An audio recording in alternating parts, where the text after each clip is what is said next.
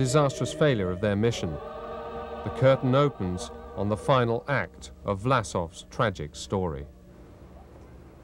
While the 1st Division marches to their deployment on the Oder River under Commander Bunyachenko, Vlasov's staff is moved from Berlin to Carlsbad in Bohemia. The Hotel Richmond becomes their headquarters. In view of the impending German defeat, Vlasov decides, without the knowledge of his German allies, that the remaining troops under his command should assemble in Bohemia. The aim of this maneuver is to strengthen the hand of the Russian liberation movement regarding the Western Allies, in the hope of preventing the threatened repatriation. On April the 13th, near Fürstenberg, south of Frankfurt on the Oder, the 1st Division is to storm a Red Army bridgehead on the west bank of the river. Vlasov's troops alternate between naive hope and resignation Все люди были я не пойму, как это можно назвать такое настроение. Или It was all the same to us. Безразличные люди, We were the people who'd already had it up to here, вот эти who'd been vagabonds from 1941 to 1945. It was all the same to us who we had to fight. Кто против кого будет воевать? When we received an order, we had to obey. That's the way we thought at the time. If we got shot in the process. Ну, that would also be all. Ну right. что ж теперь делать? Пулю получишь, ну и, и все. Сколько ж можно? И все. Это был первый шанс That was a chance, the first chance, to get rid of this satanic regime. This regime had cost countless human lives and brought the country vast misery. Therefore, committing fratricide was a tolerable decision. This decision was in no way easy to make. But you Это have to решение know, we thought at the было time очень that our major weapon would be э, words. пойти на вот такие э, внутриусобные жертвы. Но мы действительно Today I искренне know верили that this в то, belief что was дело pretty naive. будет заключаться главным образом в пропаганде. Сейчас я понимаю, что это э, мне э, вера была слишком наивной. The battle is soon over. In the face of the Red Army's military superiority, the 1st Division's attack fails. Bunyachenko doesn't want to use up his troops as cannon fodder. After only a day, he orders them to withdraw toward Bohemia.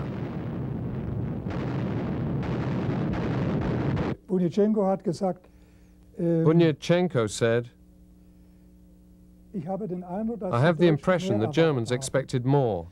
But what more could you want than that my soldiers are ready to die? And they did die. Er keine große Chancen auf Erfolg hatte. Und sie sind gestorben. Apparently unmoved by the fate of his soldiers, on that very day Vlasov marries Adelheid Bielenberg in Karlsbad. His Russian wife had been arrested following Vlasov's defection and at this very moment was imprisoned in one of the camps of the Gulag archipelago. That is for me, that's a blemish you'd like to be able to erase, to wipe away.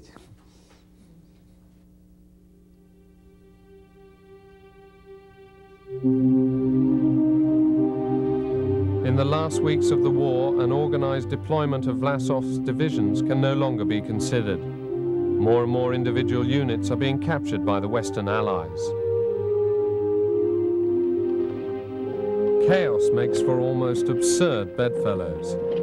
At the request of Czech nationalists, at the beginning of May, the 1st Division moves into Prague to fight with the civilian population against the German occupation forces Нигде не встречает, как в Праге встречали. Кондитерские все работали на досках, прямо горячие. Nobody ever received us like they did in Сироп, Prague. Квас. The bakeries were open and they brought us fresh bread.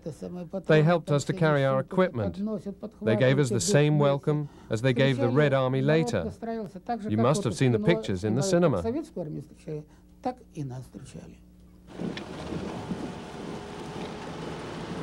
The popular uprising in Prague reaches its climax on May the 6th. In the streets of Prague, fierce gun battles erupt between German soldiers and Czech civilians. On the edge of the city, Vlasov soldiers engage in combat with SS units stationed there. The German occupation forces capitulate. But immediately afterward, the Czech National Council demands Bunyachenko leave Prague with his division.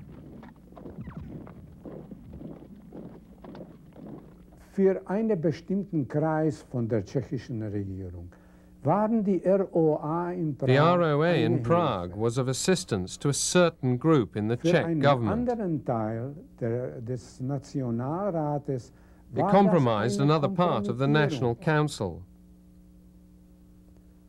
Eine andere Russen sind nach Prag These Russians coming to the aid of Prague were not the ones in their scenario. in, in ihrem the Red Army. Und das ist die Rote Armee. Before the Red Army reaches Prague on May the 9th, the 1st Division withdraws to the west. On May the 12th, they reach Schlüsselberg in Bohemia. This is where, two days previously, Vlasov had surrendered to the Americans. The Americans refused to grant asylum to Vlasov and his troops. After consulting with Vlasov, Bunyachenko dissolves the 1st Division. While most of Vlasov's 10,000 soldiers fatalistically await capture by the Red Army, some individual groups push through the American lines to the west.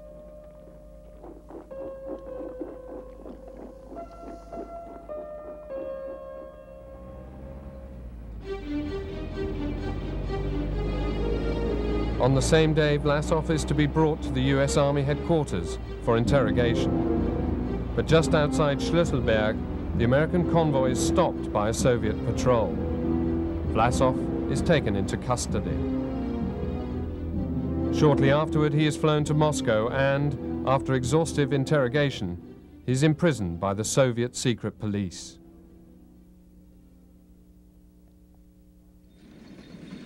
Now that the war has ended, about 80,000 soldiers of the erstwhile Russian Liberation Army are held as displaced persons in camps run by the Western Allies. In addition, there are several Cossack units, notorious partisan fighters, who had been first put under Vlasov's command in 1945. In the British internment camp at Kärnten in Austria, the soldiers hope right up to the last moment to escape being turned over to the Soviets.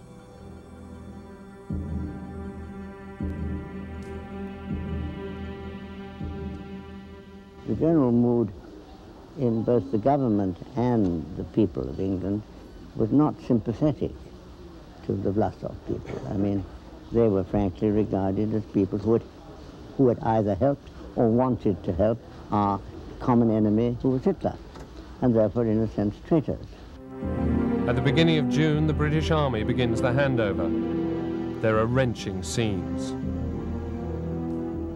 Gradually, we managed to, by brutal force really, force them out of the camp. Then they linked arms and sat on the ground and said, we're not moving from here. So again, force had to be used. Not only soldiers are being repatriated, but also women and children. Among them, Zoe Polanska, then 15 years old. They started to pull us apart from the crowd. And it was a huge stampede where people were tramped on. Some of them died, some of them wounded. Shots were fired. We really didn't know what was happening.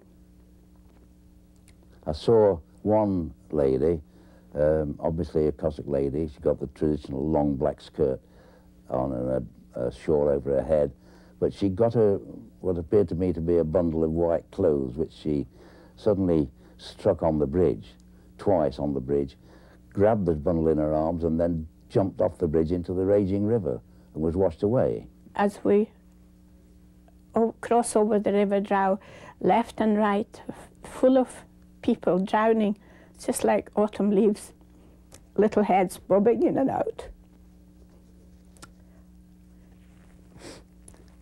And a lot of some lying dead already. I couldn't stand it any longer and I shouted an order to stop this brutality. But I think at the same moment, the, the Cossacks decided, well, you know, we've got to go. And things calmed down and they started rather reluctantly going and getting into the back of the truck. In the American camps, like here in Plattling in Bavaria, the repatriation is only begun months after the end of the war. Hope spreads among the captive members of the former Vlasov army. Many of them thought it was only a matter of time, and a short time at that, before the Americans would be at war with the Soviets, and they would be fighting uh, with the Americans. However, the US abides strictly by the Yalta Agreement. The US military does not want to endanger the repatriation of American prisoners of war who have fallen into Soviet hands. Therefore, in August 1945, they begin to transfer their Russian prisoners. In desperation, many try to commit suicide.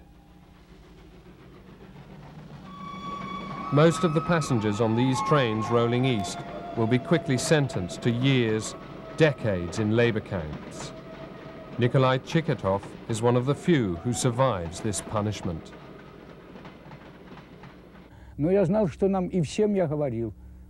I told them all then that we'd be paid off with Siberia. We were all guilty in some way. Andrei Andreevich Vlasov and 11 of his closest officers are tried by the Military Council of the Supreme Court of the USSR in Moscow. On July the 30th, 1946, they are sentenced to be hanged.